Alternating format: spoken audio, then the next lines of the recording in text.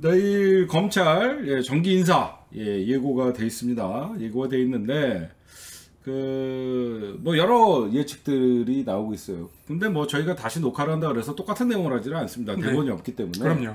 그래서 또 새로운 얘기를 하면 우리 김태현 기자님이 예상하는 내일 검찰 정기 인사 현재 인사는 이루어졌습니다. 네네. 뭐 오늘 낮 3시에 검찰 법무부 검찰 인사위원회에서 2시간 만에 회의가 끝났다 그러면 뭐 그렇게 충돌은 없었다고 보는데 우리 김태현 기자님이 예상하는 검찰 정기 인사 어떻게 보십니까? 그러니까 충돌이 없는 이유가 있죠. 충돌이 없는 없을 이유는 음. 형사 공판부를 중용하겠다고 하고 지금 어찌됐든 한동훈 검사자 한동훈 검사와 그리고 정진웅 부장 검사의 마찰이 있다고 하지만 네. 이거 모두 다 검찰의 허물입니다. 음. 검찰 내용이라고 하죠. 어, 그러니까 한동훈이나 정진웅이나 네. 지금 우리가 정진웅을 응원하고 한동훈을 지금 우리가 지금 사실상 그 우리 반대편으로 얘기하지만 둘 다 검사는 맞아. 맞아요. 그래서 지금 언론이나 뭐 정치권에서는 네네. 뭐 대리전이다라고 얘기하고 있지만 사실은 검찰이에요 다. 음, 다 검찰이죠. 네, 애초에 그 한동훈 검사랑 그리고 음. 정진웅 검사 전부 다 사법농단, 국정농단 때 같은 팀이었고 그렇죠. 그 당시에 문제를 알고 있었기 때문에 수사를 잘한 거다라고 음. 이민 이문정 검사가 이제 그 밝혔죠. 그 그렇죠. 폭로를 했죠. 음, 음. 그러니까 내일은 아마 예측을 해보면 음. 어디까지나 네. 예측입니다, 여러분들. 특수부는 2, 300명밖에 안 돼요. 그렇죠. 이 특수부가 전부 다 지방으로 내려갈 수도 있어요. 여기 전부 다 형사 공판부로 채워진다라고만 하면은 음. 윤석열 총장은 정말로 특수부 출신은 윤석열 총장 남기고 다 없어질 수도 있다. 그러니까 한마디로 윤석열만 남은 윤석열 사단이 될 수 있겠네요. 예, 그렇습니다. 그럼 새로운 사단을 또 꾸려야 되겠네요. 근데 음. 이게 이전에 이제 사실은 검사들이 음. 자기들이 어떤 점수를 받아서 어떻게 받아서 승진하는지를 알 수가 없었어요. 음. 왜냐면 그 당시에는 승진의 그러니까 그 뭐랄까 점수 채점표라고 해야 될까요? 네네네. 인사고과라고 해야 될까요? 음. 그거에 공개가 안 됐었죠. 그렇죠. 그래서 승진 명단을 딱 보니까 어 얘는 특수부네, 어 얘는 공 얘는 뭐 공안부네 음. 이렇게만 됐었잖아요. 음. 근데 이제는 실적을 보고 이제 승진을 할 수 있다고 보이기 때문에 네 네. 어 향후에는 이제 형사부, 공판부 검사들이 음. 굉장히 이제 좀 뭐랄까 지금 윤석열 총장의 편을 안 들 것 같다. 그렇지. 네, 음. 그렇습니다. 지금 그런 상황들입니다. 그러니까 과거에는 특수부에 있던 애들이 특수부가 해체가 되면서 네네. 형사부로 다 가서 어느 정도 윤석열이의 의중에 따라서 그리고 자기네 특수부의 의중에 따라서 수사를 했는데 알아서 네네. 이제는 굳이 정치적인. 사건이나 그런 사건을 안 해도 된다는 거죠. 그러니까 그렇죠. 윤석열이가 공들이고 있는 사건 오히려 윤석열의 사건으로 수사할 수도 있잖아요. 네. 그렇죠? 이미 아, 그렇죠. 고소가 돼 있으니까. 그 윤석열 총장이 너무 이번에 좋은 말을 했잖아요. 그 신임 검사 신고식 때 그렇죠. 법은 정의롭고 공평하게. 음. 그거는 이제 검찰 내부에도 똑같이 가는 거죠. 그래서 감찰 부장에 음. 임은정 검사가 올라갈 수도 있다. 그렇죠. 우리가 네. 예상했던 감찰부장의 이문정 검사는 아니면 대검 3차장. 그럼요. 그, 음. 어, 중, 어, 그렇죠. 그 정도가 되는 거죠. 네. 1차장이 하는 일과 2차장이 하는 일과 3차장이 하는 일이 좀 다르죠.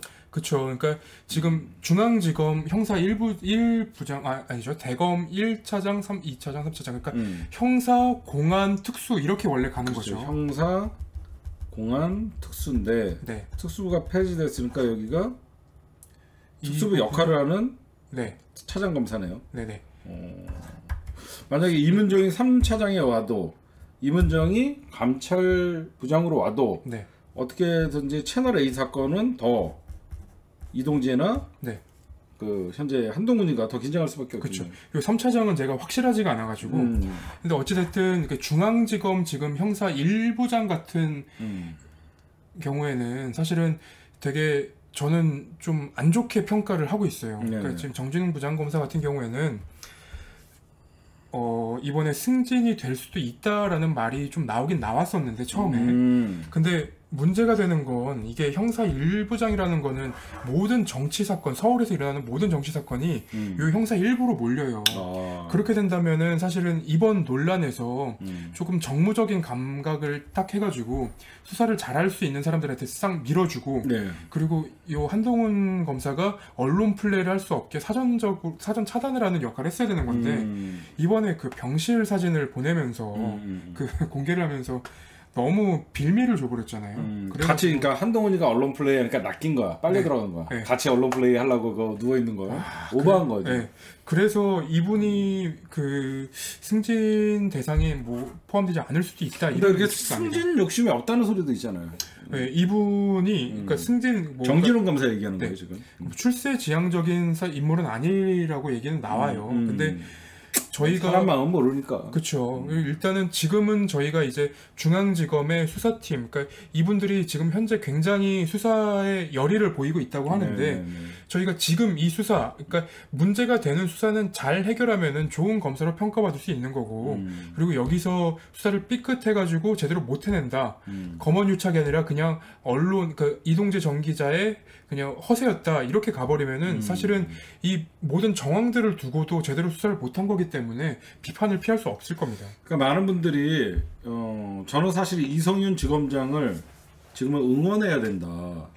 지금은 우리가 많은 분들이 이래요. 같은 검찰 아니냐. 믿을 수 없다. 이해하죠. 충분히 검찰한테 그동안 많은 사람들이 신뢰가 깨지고 당했기 때문에 이성윤 지검장이나 저쪽이나 믿을 수 없다. 충분히 이해하지만 우리가 왜 이성윤 지검장을 여러분들 지금은 응원을 해야 되냐. 그 이성윤 지검장의 살아온 역사나 이런 것들을 보면요. 어 제가 뭐 이분을 높이 뭐 평가하는 게 아니라 적어도 정권의 입맛 입맛에 맞게 어떤 행동을 하거나 현재는 추미애 장관과 함께 어떤 검찰 개혁에 나름 충실히 그 서울중앙지검과 대검은 어 우리 저번에 김태현 기자님이 말씀한 것 같이 좀 다른 조직 같은 맞아요. 사실 조직 같이 보이죠. 이성윤의 중앙지검이 없다 그러면 검찰 개혁 지금 힘들어요. 한통속이에요. 근데 지금 중앙지검이 그나마 버텨주고 대검과 맞서고 있기 때문에 윤석열이가 코너에 몰리는 거거든요. 그럼요. 그러니까 여러분들이 그런 것도 좀 아셔야 된다. 우리 그 김태현 기자님이 마- 보는 이성윤 지검장 믿을만 합니까?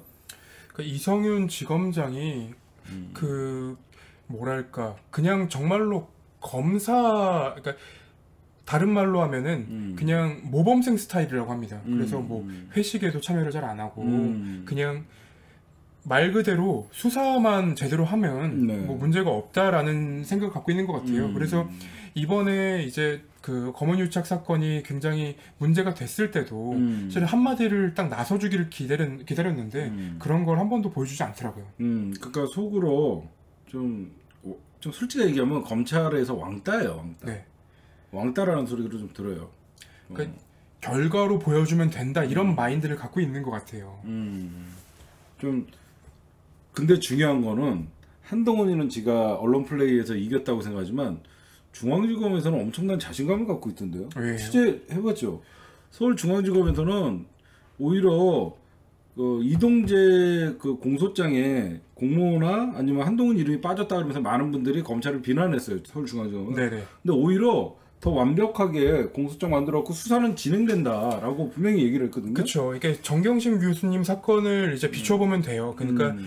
어, 수사를 진행하고 그리고 음. 재판에 넘긴다는 거는 이 재판에 넘기고 나서부터는 더 이상의 수사가 불가능합니다. 왜냐면 증거가 인정이 안 돼요. 네. 먼저 공소장을 쓰고 재판에 넘기는 순간 그 이후에 찾아낸 검찰의 증거는 법정에서 인정이 안 되기 때문에 오히려 나는 나중에 한동훈이가 더 불리해질 수도 있다고 생각해요. 그렇죠. 지금 굉장히 자신감을 갖고 얘기를 하고 있는데 음. 이게 그 지금 중앙지검이 공모 적시를 안 한 이유는 음. 어찌됐든 이동재와 한동훈의 사건은 검언 유착이긴 하지만 이 두 사건은 별개예요. 그렇죠. 예, 이동재 기자는 이동재 기자대로 재판을 받고 한동훈 검사는 한동훈 검사대로 재판을 받는 거예요. 음. 그렇기 때문에 지금 공모 적시가 안 됐다고 해서 음. 어, 그뭐 수사팀이 제대로 못 하고 있다 이렇게 얘기하기 뭐 이동재를 봐주려고 뭐 놨거나 그게 아니에요.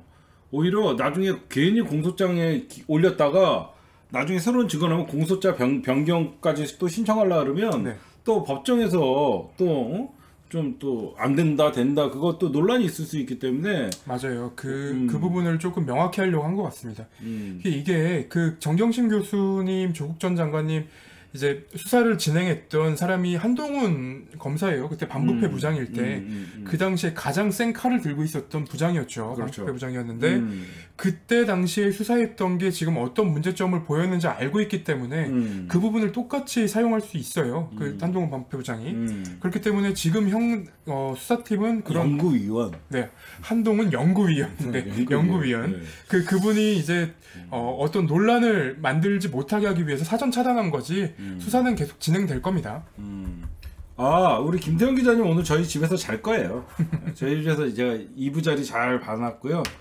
어, 그 다음에 많은 분들이 저는 이, 이건 어떻게 보세요? 어, 저는 윤석열 그리고 내일 어, 벌써 8천 명 가까이 가는데 내일 검찰 인사에 네. 예의주시하는 건 미통당일 것이다. 왜 그러냐면 음, 여태까지 윤석열 사단 특수부가 형사나 공판부에 나름 특수부가 해체되면서 퍼져 있어갖고 검찰이 선택적 수사를 했거든요. 네. 지금 패스트트랙 수사나 사실상 나경원 수사나 미통당도 사실상 엄청난 고소고발 당했어요. 그렇죠. 근데 모든 언론이나 검찰이 선택적 수사를 하는 바람에 우리 진영이 많이 수사를 받았거든요. 근데 이제 윤석열의 말대로 정의롭고 공평하게 수사를 한다 그러면 이번에 서로 물갈이된 형사부에 배치될 검사들은 이 형사부 검사들 실무자들 뭐 부부장 검사나 부장 검사들 실무자리 왔을 때 기존에 미뤄왔던 수사 안 할 수가 없잖아요. 그 원리 원칙대로 똑같이 한다면 지금 음. 정경심 교수님 따님 그렇죠. 따님이 받고 있는 그러니까 따님 받고 있는 혐의 아니죠. 음. 정경심 교수님이 받고 있는 뭐 딸뭐 표창장 위조부터 해서 그렇죠. 뭐 논문 일저자 문제 그렇죠. 이거 지금 나경원 의원이 똑같이 받고 있는 문제거든요. 대로 아들 문제, 딸 문제 네. 다 걸려 있죠. 근데 이 부분은 이미 좀 확정적으로 얘기가 나온 부분도 있기 때문에 그렇죠. 형사부에서 그대로 수사만 한다고 한다면 큰일 난 거죠. 그렇죠. 네. 이게 그래서 어, 물론 어, 조국 장관 털듯이 하는 건 저는 나경원이라고 해서 그거는 바람직하지 않죠. 검찰이 그거는 수사를 한 게 아니라 지랄을 한 거였거든요. 그래도 수사를 안 할 수는 없잖아요. 그쵸 수사를 하는 게 맞죠. 그래서 저는 분명히 미통당도 긴, 긴장을 할 것이다. 특히 패스트트랙 사건 수사하면 네 얘네들 의석 날라갈 수밖에 없거든요. 지금. 하여튼 이것도 좀 예의주시해야 되고. 그 패스트트랙 같은 경우에는 음, 지금 재판에 그 민주당 의원들과 통합당 의원들이 같이 가 있긴 한데 음. 이게 좀 달라요. 지금 사건이 달라요. 네, 보시는 분들도 조금 예의주시 이쪽은 나와봐야 벌금형 얼마 안 나와요. 그 민주당 의원들은 이게 선거법 적용이 아, 아니죠. 네, 아니죠. 그 음. 국회법 적용인가요? 아무튼 제가 지금 약간 뭐 헷갈리는데 폭력 이런 걸로 들어가 있어요. 네네 그리고 선거 저쪽은 선거법이고 네. 저쪽은 의사 진행 방향 방해 이쪽은 민주당 쪽은 폭력 그쵸. 뭐 이런 걸로 걸. 근데 여기는 이제 실형이 나와야지 음. 문제가 되는 거고요. 그렇죠. 여기는 벌금형이 나오면 500만 원일 겁니다. 그렇죠. 아마. 500만 원 이상 나오면 피선거권까지 박탈돼요. 예. 저쪽은. 음. 그래서 이거를 완전히 똑같다고 보시면 안 됩니다. 이거 음. 앞으로 재판이 진행되고 나면은 저희가 또 보도를 해드리겠지만 음. 이 부분은 이제 앞으로도 좀 보시는 분들이 좀 예의주시해서 보셔야 되는 부분입니다. 음. 네. 음. 뭐 황교안도 걸려 있고요. 그럼요. 네. 뭐 여기저기 많이 걸려 있습니다. 그다음에 아, 국회법이라고 정정해 주셨네요. 국회법요? 네. 음, 네, 많은 분들이 오늘 권경의 아, 사건 여러분들이 궁금해하시는데 그 이거는 김태현 기자가 직접 취재를 했어요. 권경 권경의 변호사가 자꾸 뭐 민변 민변하면서 어? 우리 측에 아주 어, 깊이 관련된 사람 같이 얘기를 하는데 취재해 보시면 것 같아요 권경이라는 분. 그러니까 그 민변이라고 보도가 굉장히 많이 나오는데 저희가 확인을 해보니까 민변에서 권경희 변호사님과 같이 활동했던 분들이 거의 안 보여요. 음. 그러니까 있긴 있겠죠. 민변에서 이름은 올려놓고 네. 제대로 민변 활동을 했다고 볼 수 있는 거는 없더라고요 보니까. 그래서 그래서 왜 민변을 강조하나 음. 라고 생각을 해보면 사실은 민변에 박원순 시장님도 계셨고 그렇죠. 그 어떤 일련의 이제 민주당 쪽, 그 진보 계열의 변호사님들이 많기 때문에 그렇죠. 그거를 실을 뿐이지 그게 막, 막 완전히 기정사실화된 건 아닌 것 같다라는 생각이 좀 들더라고요. 음, 음. 그리고 오늘 이제 한상혁 방통위원장이 입장을 밝히고 난 뒤에 음. 바로 기억이 잘못됐던 거. 같다고. 아까 분명히 네, 그 MBC의 그 어떤 그 8시 스트리트였나요? 근데 뭘로 터뜨렸죠? 하여튼 방송이 나가기 전에 압력을 받았다. 네, 네, 네. 방송이 나가기 전에 알았다 그랬는데 한상혁 위- 방송통신위원장이 통화 내역 기록을 깠지요. 9시 9분 방송이 끝난 후였다라고 하니까 자기 기, 기억이 잘못됐다. 이거 말이 웃겨요. 근데 기억이 잘못됐다라고 얘기하면서도 음. 한동훈을 쫓아낼 게 있다 뭐 이런 식으로 말은 한 건 맞다라고 얘기를 했거든요. 근데 이게 방송을 봐도 한동훈 저거 물러나야 되는 거 아니에요? 그 정도로 했다고. 아, 근데 이게 시점의 문제인 게 뭐냐면 음. 9시쯤이면은 뉴스 데스크가 그, 그 당시 뉴스 데스크죠. 그렇죠. 뉴스 데스크가 끝나고 난 이후에요. 그러니까 이걸 보고 나면은 그런 말을 할 수 있어요. 근데 음. 권경애 변호사가 얘기한 건 뉴스 데스크가 시작하기 전에 얘기를 했다는 그렇죠. 거잖아요. 시간이 안 맞아요. 그러면 음. 그러면 뉴스 데스크가 시작하기 전에 그렇다고 한다면은 아 그래 뭐 사람들이 의심을 할 수 있는 부분이 있지만 그렇죠. 본 다음에 얘기하는 게 뭐가 문제가 있습니까? 아 그리고 사전에 알았다고 해도 그게 무슨 권한유착이에요? 응? 나는 이해가 가지 않아요. 그리고 아니 기자들이 취재한 거 김경 기자 가 만약에 내일 뭐 터트린다 나 그 전에 알아요. 태훈아 뭐 좀 뭐 터트릴 거 있어? 예 선배 뭐, 뭐 나중에 뭐 터트릴 거 하나 있어? 그럼 저는 알고 있어요. 그렇죠. 그러면 개헌유착이야? 죄송합니다. 그래서 사실은 음. 이게 그 제가 볼 때는 그래요. 이게 어찌 됐든 사람들은 모든 사람 대부분의 사람들은 네네. 이첫 번째 보도만 보고 기억을 한단 말이에요. 그 네네. 후속 취재된 그 기, 보도를 대부분 찾아보지 않아요. 음. 이게 뭐, 뭐, 보시는 분들을 뭐 비하하거나 그런 게 아니라 음. 이게 언론 지형이 좀 그런 것 같, 같아 보여서 음, 이게 나중에 해명이 나왔다고 해서 음. 요 부분이 완전히 말끔히 없어지는 건 아닌 것 같다. 음. 한상혁 이제 방통위원장이 법적 조치를 한다고 했으니 강하게 하니까 예. 이것들이 음. 왜 그러면 방송통신위원장이니까 또 오보 쓴 것들 얼마나 네. 쫄겠어요 근데 조중동이 특히 조선과 중앙이 한상혁을 왜 놀릴까요 유, 채널이가 조용하고 그렇죠 네. 동아는 조용했어요 오늘 네. 희한하게 방통위원장 깔 때 왜 동아는 조용했을까 그, 그 왜 그랬을까? 왜 조중동 도중동 하면서 우리가 늘 세 명을 다 얘기하는데 희한하게 오늘 문제는 조선과 중앙만 까대 한상혁을 채널 A는 왜 가만히 있었을까? 네. 두려운 게 있겠죠. 날아갈 게 뭐 있겠죠. 그리고 되게 신기한 게 이게 네. 방송 사업자가 조선방송, 중앙방송이더라고요. 그렇죠. 조선방송, 중앙방송, 북한방송 같아요. 네. 네. 어쨌든 여러분들 보시면요. 검찰 정기 인사 내일은 발표는 하겠죠. 이미 정기 인사는 다 됐고. 네, 내일 구체적인 명단이 나올 겁니다. 음, 명단이 나면 여러분들이 좀 우리 김태형 기자 내일 그좀 예의 주시하게 뭐 이문정 검사 여러분들이 많이 얘기하고 있고 어디를 가장 누가 어느 자리에 누가 가장 핵심적인 걸 좀 봐야 될까요? 좀 아시죠? 일단은 서울 중앙지검 1, 2, 3, 4, 1, 2, 3차장이 누가 될지 아, 예, 아마 한마디로 이성윤 지검장과 호흡을 할 사람들이 그렇죠. 막말로 윤석열 사단이 다시 들어온다 그러면 그렇죠. 와 이미 장악됐구나. 그렇죠. 그렇게 되는 거죠. 추미애 장관이 그럴 일은 전혀 없겠죠. 아, 이전부터 명확하게 형사 음. 공판부를 중용하겠다고 했기 때문에 여러 번 강조하셨어요.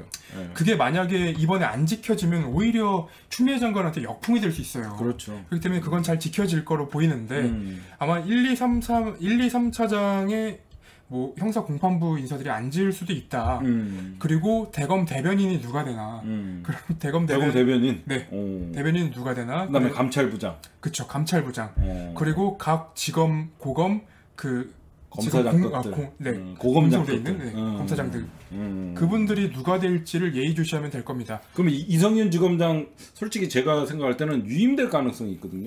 네 지금 지검장이 된 지 6개월밖에 안 됐고요. 음, 저는 유임될 거라고 봐요. 이성윤 지검장은. 그리고 이제 음. 중요한 이제 검언 유착 사건을 끝까지 책임져야 되기 때문에 네, 아마 네. 그 유임되지 않을까 저도 그렇게 생각하고 음, 있습니다. 저도 이성윤 지검장은 유임이 될 것 같고 우리 김태형 기자님이 말씀하신 대로 서울중앙 1, 2, 3차장이 누가 될 것이냐. 네, 어 중요한 거네요. 그렇죠, 어 그게 어떻게 보면 서울중앙지검의 핵심 수사 라인이니까. 그렇죠. 와. 뭐 다른 부분도 기사로 많이 나오겠지만 네. 일단 그 일반 시민들이 볼 때는 이 음. 부분을 좀 집중을 해하시면 될 것 같아요. 어, 내일 여러분들 아시겠죠? 서울 제가 저랑 김태형 기자님은 중앙지검장이 유임될 가능성이 높고 나머지는 서울중앙지검의 1, 2, 3차장 누가 될 것이냐 좀 하고 대검 감찰부장 그다음에 대변인 네. 대변인은 윤석열의 입 역할을 했는데 네. 입마저 날아가면 윤석열의 수족도 날아가고 입까지 날아가는 그런 형태가 그 되겠죠. 조남관 검찰국장 얘기도 나오셨는 나 하셨는데 음. 아마 조남관 검찰국장은 그 자리를 지키지 않을까 싶어요. 저는. 음. 근데 뭐 자리를 옮길 가능성도 있고 음. 한 가지 더 포인트가 있는데 음. 이번에 그 한동훈 검언유착 수사팀 중에서 음. 천재인 검사와 그리고 음, 한, 한 명이 더 있는데.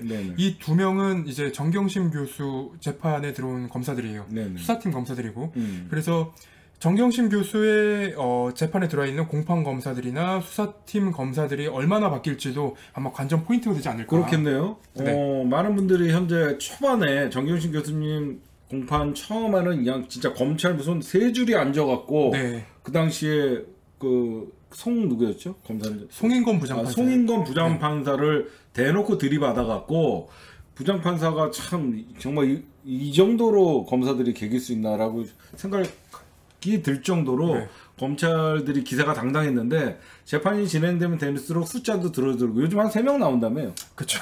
검사들 과거에 어, 그세명 중에 한 명이 천재인 검사였습니다. 아, 그렇죠. 어, 오늘의 관전 포인트는 앞으로 어, 조국 장관이 공소 유지가 될까요? 그 그게 지금 의문이에요. 그러니까 예. 그 수사팀이 네. 아마 그 공판 공판 그 들어가면은 그러니까 음, 법정에 들어가면은 수사팀도 다 가- 와서 앉아 있어요. 그렇죠. 요 네. 근래는 또 사- 표창장 위조와 관련해서 사람들이 많아졌는데 음. 어, 이 부분은 아마 향후에 검, 좀 어느 정도 좀 바뀌지 않을까. 음, 제가 봐도 검찰의 논리가 너무 빈약해요. 계속. 네. 그래서 과연 어, 떤 식으로 조국 장관님 그리고 정경심 교수님 재판에 어떤 분들이 교체가 될 것이냐 서로 안 갈라 그럴 것 같아요. 그 근데 지금 거의 부부장 검사로 있던 이제 이광 이광석 부장 검사일 겁니다. 부부장 검사일 겁니다. 그 사람 관두지 않았어. 그분은 하나로 갔죠. 그렇죠. 관두자마자. 하나로 가셨어요. 하나 그룹으로. 네네. 야 이런 것도 저는 검사 그만두고 나서 몇 년은 어, 대기업 취업 못 시키게 해야 돼요. 이게 제가 취재를 하다, 보- 보니까 음. 그 이렇게 그러니까 주요 사건을 맡고 여기로 넘어오시는 넘어가는 분들이 꽤 있는 것 같더라고요. 음. 근데 요게 너무 좋은 게 뭐냐면 음. 그 그룹에 있는 사건을 맡는 거잖아요. 그러면 사람들이 이 검사 이름을 까먹을 때까지 한 3, 4년간 여기서 버틸 수 있습니다. 그리고 나와서 이제 로펌을 들어간다든지. 네. 어, 엄청난 돈 받고 가는 거예요. 그렇죠. 왜냐면 그 사건을 맡지 않아도 이 사람이 존재하는 이유만으로 못 건드리거든. 그럼요. 그렇잖아. 그렇게 되, 그렇게 되는 거죠. 적어도 못 건드리거든. 만약에 김태형 기자가 아주경제 있어. 네. 그럼 누가 아주경제 욕 못 하잖아요. 몇 년 동안은 있는 동안은 함부로 못 한다고요. 그- 예. 욕 많긴 많던데. 욕은 하더라도 네. 뭐 몽둥이 들고 가갖고 뭐 죽인다는 소리는 못할 거예요. 그럼요. 예, 네. 그렇죠. 그런 비유가 그렇게 하면 여러분들이 볼 수 있겠습니다. 그 다음에 좀 하나 또 좀 이재용이 사라졌어요. 네. 제가 오늘 낮에 잠깐 방송에서 얘기했는데 우리가 한동훈 자꾸 얘한테 집중하다 보니까 실질적으로 이재용 사건도 같이 벌어지고 있거든요. 아니 오늘 삼바 사기 사건이거든요, 이거. 네. 분식회계 사기 사건인데, 야, 이 모든 게, 아까 소름 끼치는 게, 야, 이 모든 게 삼성이 조정하는 건가? 음, 조중동이 이렇게 한동훈 검언유착 사건에 신경을 쓰고, 어? 왜 이럴까? 진짜 그 배우에는 이재용을, 진짜 이재용이 사라졌어요, 뉴스에. 그러니까 단독 기사라고 해서 오늘자 음. 아마 YTN에서 나왔을 겁니다. 여기 음. 보면은 이재용 기소유예 이거 기소유예는 사실은 뭐 기소를 안 하고 있는 거예요. 그냥 뭐 재판을 법정으로 넘기지 법 그 재판으로 넘기지 않는다는 일단은 음. 의미인데 이게 너무 시점이 이상합니다. 이상해요. 네. 과거 같은 뭐 이재용 진짜 막 어, 많은 분들이 어, 어떻게 저렇게 대놓고 사기를 쳤고 네. 어? 증거도 완벽하게 막땅막 막 창고 바닥에서 막 진짜 회계장부 나오고 응? 그런데도 전문 수사단에서는 뭐 저렇게 나오고 아 진짜 이재용도 여러분들이 우리가 사건 예의 주셔야 한다 그랬고 여러분들에게 아까 제가 말씀드렸죠 낮에 그런데 이재용은 까먹으면 안 됩니다 그렇죠? 무슨 18개월 동안 수사를 했는데 제대로 음. 기소도 못한다, 뭐 타격이 될 거다 중앙지검에 이렇게 기사들이 나오는데 음. 중앙지검에서 바로 밝혔어요. 기소 유예는 아니다. 그렇게 발표한 적 없다. 어, 지금 지금 이제 논의를 하고 있지 문제가 되는 건 아니다. 뭐 음. 그렇게 기소유예 결정한 건 아니다. 네네. 근데 요 시점에 또 재밌는 기사가 하나 또 나오죠. 음. 이재용 프로포폴을 제보했던 그 남성이 음. 재판에? 있다. 네, 그, 그거 그건? 보도가 됐습니다. 아? 거기까지 보도가 됐습니다. 음. 이재용 프로포폴 사건이 있어요. 근데 그 제보를 했던 사람이 오히려 수사를 받았죠. 그렇죠. 이 제보자가 이것도 웃겨요. 예, 그러니까 저는 이해가 안 되는 부분이 그 그날도 이제 기사를 쓰긴 썼는데 네. 이해가 안 되는 부분이 이재용이라고 하면은 사실 삼성 삼성은 우리나라에서 가장 큰 기업이고 우리가 내부자들이나 이런 영화를 봤을 때도 음. 그 공포심을 느낄 만한 어떤 권력 집단이 아닌가라는 의심이 되는데 음. 이 간호사 나- 남친이 경찰에 제보를 했는데 어, 그렇죠. 그러니까 권익위에 처음에 제보를 했습니다. 그렇죠. 권익위. 권익위는 이제 공익 제보자를 보호할 의무가 있는데 음. 이게 기사가 경찰 쪽 취재하다 보니까 뭐 권익위에서 나왔다 이런 말들도 있는데 이거는 확인되지 않은 거고요. 음. 일단은 뭐 출처가 어딘지는 명확치 않습니다. 근데 음. 이분이 어, 영장 심사를 받았고 그 지금 구속 단- 상태다라는 부분까지는 보도가 됐어요. 그러면 제보자가 구속이 됐다고요? 네, 제보자가 구속이 됐습니다. 협박에 협박으로? 네. 공갈 협박으로? 공갈 협박으로. 어. 근데 이 공갈 협박한 과정이 음. 좀 이해가 안 돼요. 그러니까 이, 이 삼성이 고발을 했다라고 얘기가 나오더라고요. 음. 근데 이 남성이 대포 휴대 대포폰을 가지고 그러니까 여러분들 간호사의 남친이 네, 대표폰을 가지고 네 지금부터 이재용 그 부회장의 집에 가가지고 음. 관리인 혹은 그 경비한 경비 아저씨한테 음. 이 폰으로 나한테 전화하라고 해라. 음. 그러니까 간호사의 남친이 네, 뭐 술을 많이 먹었나요? 갑자기 대포폰을 하나 들고 와갖고 이재용네 집에 찾아가갖고 관리인한테 어 이 전화로 지금 이재용한테 나한테 전화하라 그래. 네.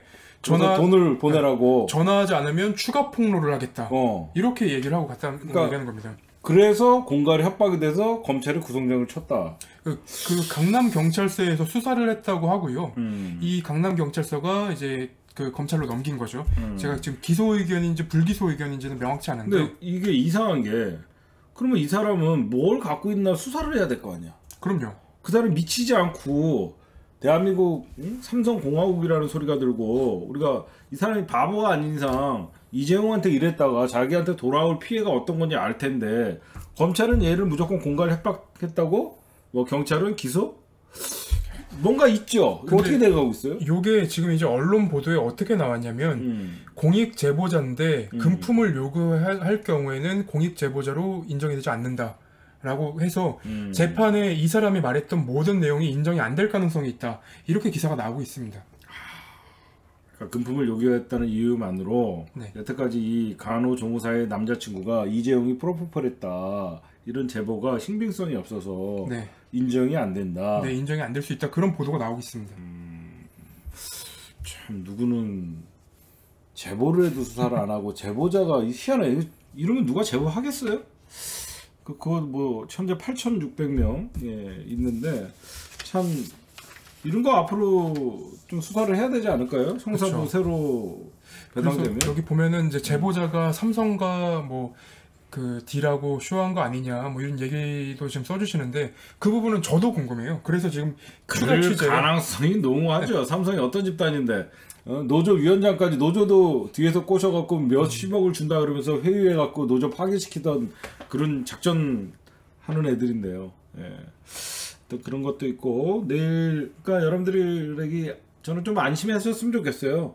제가 아는 추미애 장관은 어, 그리고 우리 법무부나 거기 검찰을 취재하는 우리 김태현 기자를 보면 저는 검찰의 행위에 대해서 추미애 장관이 눈 하나 깜짝할 뿐이 아니라는 건 좀 명확하죠. 그렇죠. 추미애 장관이 진짜 정치 구단 음, 그리고 정- 진짜. 어. 정치인이자 법무부 장관, 법조인 이런 타이틀을 달고 있기 때문에 아마 그 국민들이 봤을 때도 납득할 수 있을 만한 결과가 나오지 않을까라는 생각이 좀 됩니다. 네. 음, 진짜 어떻게 보면 검찰이 추미애 자- 조국 장관 날리면 그 누구도 법무부 장관 못 오겠지 그 마음으로 그렇게 저는 가혹하게 수사를 했다고 생각하는데 네. 진짜 추미애 장관이 오면서 조국 장관은 그래도 교수 출신이고 그러다 보니까 정치력은 없어요. 네, 네. 보면 너무 순박하다 보니까 저렇게 당했거든요. 너무 순박해. 그렇죠? 그 브리핑 할 때 네. 갔는데 음. 눈이 거짓말을 못할 것 같은 눈이신 거예요.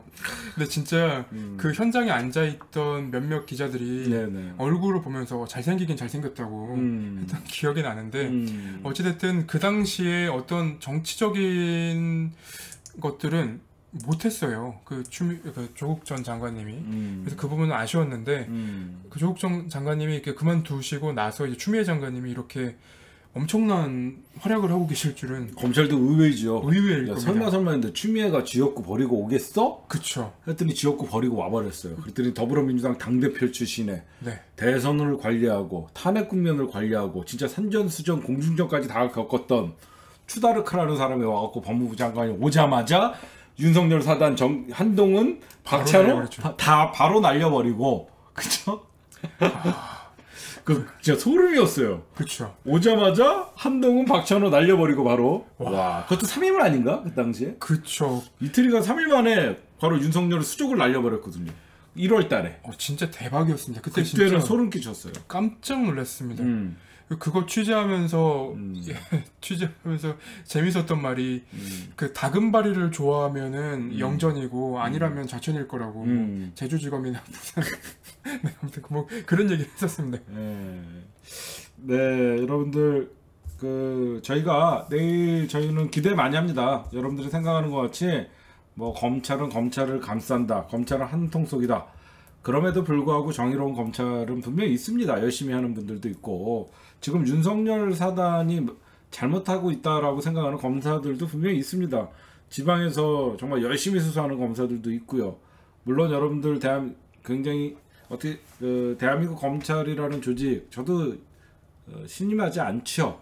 그렇지만 지방에서 열심히 수사하는 검사들은 그만큼 정치적이지 않기 때문에 서울중앙지검에 못 오고 있는 사람들도 많겠죠. 그쵸. 오히려 진짜 검사들을 이번에 서울로 불러서 어, 진짜 이제 검찰은 칼잡이가 아닌 법률가로서 네. 진짜 인권을 보호하고 경찰의 잘못된 수사들을 오히려 검찰이 보호해줘야 되는데 대한민국에서는 허건날 칼잡이니 뭐니 법률가를 무사로 만들어 버리는 것이 바로 정치 검찰들이 스스로들이 무덤을 파지 않았나 생각합니다. 그러다 보니까 국민들은 검찰 개혁을 외쳤고 맞아요. 네. 그 최근에 이제 한동수 감찰본부장님이 그런 얘기를 하셨죠. 음. 그 대검 근처에는 언론사 차들이 시동을 걸고 있고 그 음. 모두 검, 그 대검의 입을 바라보고 있는데 음. 실제로는 이제 일선 현장에서 근무하는 검사들의 얘기와는 많이 다르다. 네. 그러니까 일선 현장의 검사 그리고 전체 얘기를 좀 들어달라라는 얘기를 했었기 때문에 음. 아마 이제 그런 얘기들이 많이 반영되지 않았을까라는 생각이 듭니다. 네, 네, 네. 그리고 많은 분들이 요거 하나만 진해원 검사 얘기를 하네요. 네. 그거는 좀 저는 진해원 검사 얘기는 잘 몰라요. 저는. 그 진해용 검사님이 음. 그 이번에 이제 박원순 시장님 그 이제 사진 어, 그게 그거 예. 관련해서도 얘기를 많이 하셨고요. 음. 그다 그간 검찰 내부에서 문제가 있을 때마다 얘기를 했었고 대표적으로 이제 유이곤 기자가 그 감찰 받고 있는 거 혹시 아시냐라고 전화했던 음. 네. 그 검사님인데요. 네, 네. 아마 울산지검 울산 부장 검사인가요? 부부장 검사일 겁니다. 예, 예. 근데 그 분이 음. 올라오실 가능성이 있는지는 저는 아직까지는 잘 모르겠습니다. 음, 올라오시면 좋, 좋을 것 같아요. 네. 어, 올라오시면 좋을 것 같고 뭐 적어도 검찰 내부를 비판하는 검사들은 스스로들이 검찰은 정화작용을 이미 상실했다. 그래서 검찰은 자력으로 검찰 개혁이 이루어질 수 없기 때문에 외부의 힘이 필요하다. 뭐 이문정 검사가 이런 얘기 많이 하시잖아요. 그래서 저는 앞으로 우리가 좋은 검사들은 응원을 하고 그럼요. 무조건 모든 검사들 믿을 수 없다. 근데 그 심정은 여러분들이 충분히 이해합니다. 그럼에도 불구하고 어, 우리가 모두 적대시하는 것보다는 어, 지금 검찰 개혁을 그래도 수능을 하고 어, 자기네들도 필요성을 느끼는 검사들을 저희가 응원해 줄 필요는 있다고 생각해서 어쨌든 추미애 장관의 내일 인사 어, 우리 김태현 기자나 제가 볼 때는 검찰청 정기 인선은 윤석열만 남든 윤석열 사단이 진짜 대검에 존재할 수도 있고 그 다음에 어, 윤석열 권순정 대변인의 교체가 된다 그러면 수족이 달, 잘리고 이제는 입도 막혀서 어 이제는 뭐 스스로가 고립무원의 처지가 되지 않을까 그런 네. 생각을 합니다. 네, 음, 지금까지 여러분들 우리 어, 대한민국 최고의 법조 취재 기자 아주경제의 김태현 기자와 여러분들 어, 어때요? 뭐 이런 얘기 들으니까 여러분들 어, 뭐 그래도 궁금했던 게 어느 정도 풀리죠. 네, 내일 드디어 결과를 보고 정치 오아시스에서 중요한 거죠. 정치 오아시스에서 저희가 저녁 8시에 내일 신유진 변호사 다시 합류합니다. 네, 정치 오아시스인가요? 그냥 오아시스 아닌가요? 정치 클리핑과 오아시스. 아 죄송합니다. 아 제가 헷갈려. 오아시스. 네. 예, 가뭄에 어떤 뭐 물을 만난다는 것 같이 우리 네. 검찰 개혁 프로젝트 네네. 오아시스에서 저보다 어떻게 방송 제목을 더 잘 알죠? 그것만 나가니까. 거의 거의 정, 아니죠. 2시에 언알바도 나오시죠. 아, 그렇네요. 아주 중요한 프로 언알바는 언론 개혁 프로젝트, 아. 오아시스는 검찰 개혁 프로젝트. 예, 그래서 내일 저희가 저 오아시스에서 우리 인사 분석을 해드릴게요. 검찰 정기 인사 분석을 꼼꼼히 해갖고 뭐가 걱정이 되고 뭐가 잘 된 것 같고 앞으로 이 검찰 인사를 보니까 향후 검찰 개혁의 전망이나 수사의 전망 네. 이런 것들 내일 자세히 여러분들 오아시스에서 다루도록 하겠습니다. 아, 녹화는 여기까지만 할게요.